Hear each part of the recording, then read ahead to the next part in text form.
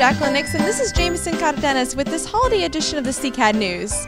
The Employee Appreciation Holiday Celebration was a success, and here's a recap on the event. The recent CCAD Employee Appreciation Holiday Celebration gave the workforce time to gather and enjoy barbecue, gifts, and games at the holiday themed event held in the new DCRF building, hosted by C101's Rex Gabriel.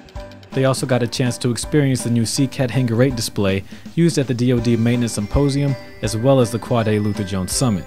The winners of the CCAD Festival of Wreaths contest were awarded with Best Theme going to S4, Directorate of Infrastructure Operations, and Best in Show going to Directorate of Accessories and Rotorblades. Colonel Carlile was also on hand and spoke about the increase in production here at the depot. Among significant work increases and record setting benchmarks, he reported that CCAD ended the 2012 fiscal year at $1.6 billion worth of production.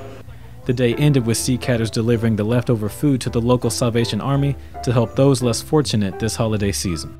For CCAD News, I'm Jameson Cardenas. CCAD pitched in for the Share Your Christmas food drive this year, and all the bins were delivered at KIII. Here's more.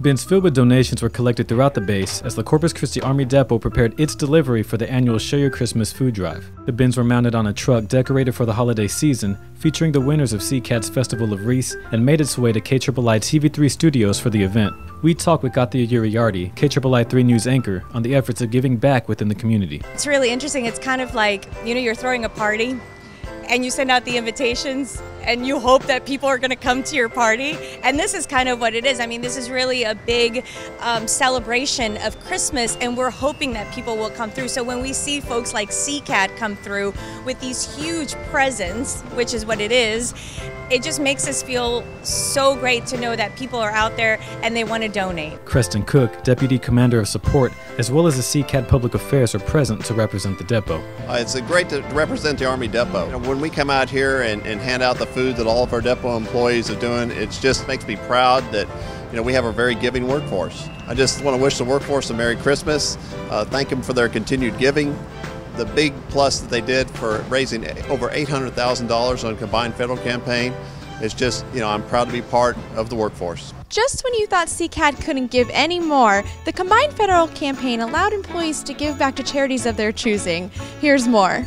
This year was another groundbreaking record-breaking year, although it's not a everybody gets a t-shirt. We still hadn't hit that magic million dollars just for CCAD, but we did break the $800,000 mark, which is about uh, $70,000 more than we did last year. Uh, the Coastal Bend as a whole gave just over $1.2 million, so the depot made up about two-thirds of the, the total uh, donations. So this year, as a new uh, thing for the employees and as a way for me to get an opportunity to see more of them doing the jobs that I know they do for our joint warfighters.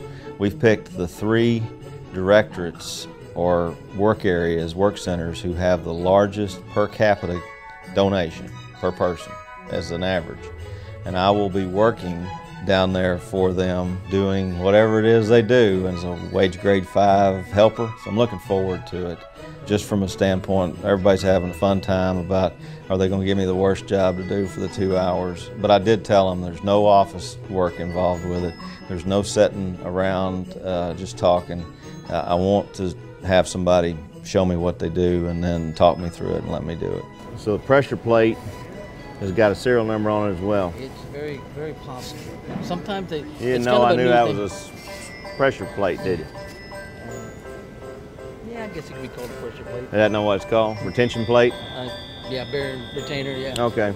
I go back to the same thing I say every time that I talk with the folks here. I've never seen in my, you know, 27 year career, I have never seen a group of people more giving, more open to give to those in need than the family here at CCAD, bar none. Um, it is a South Texas culture that is very unique to find this amount. And so I thank all of the, the team here to let me and Sandy be part of it. And that does it for this edition of the CCAD News. From all of us here, happy holidays.